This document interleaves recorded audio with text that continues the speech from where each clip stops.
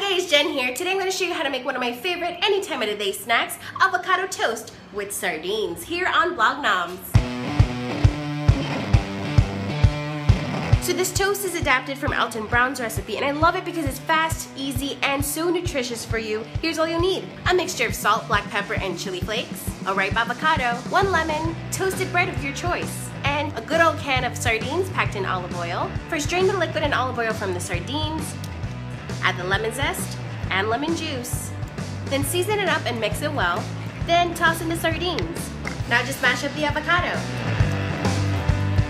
Spread it on some toast and lay on those sardines.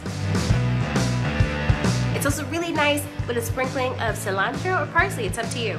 And that's it, Leo and I have this all the time. Yeah, it's really perfect for any time of the day. Cheers!